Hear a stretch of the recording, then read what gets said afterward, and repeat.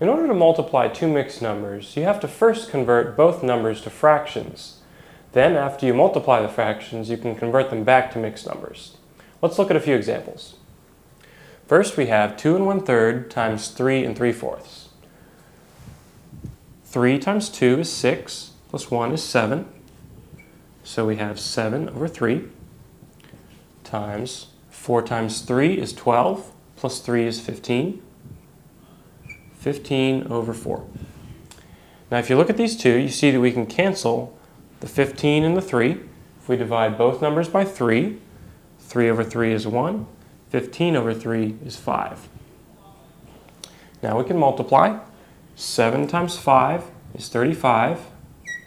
1 times 4 is 4. Now 4 goes into 35 8 times with a remainder of 3. So our answer is 8 and 3 over 4.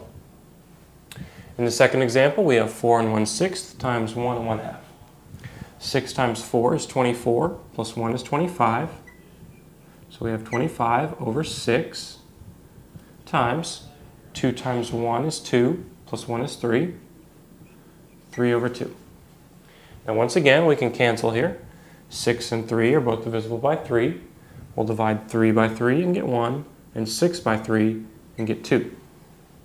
So then we can multiply. 25 times 1 is 25. 2 times 2 is 4. 25 over 4. 4 goes into 25 six times with a remainder of 1. So our answer is 6 and 1 over 4. The final example here, we have 3 times 5 is 15, plus 2 is 17.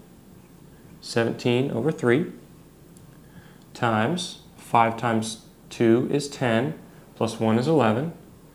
11 over 5. There's nothing to cancel here, so we'll just go ahead and multiply. 17 times 11 is 187. 3 times 5 is 15. Now 15 goes into 187 12 times with a remainder of 7. So the answer here is 12 and 7 fifteenths.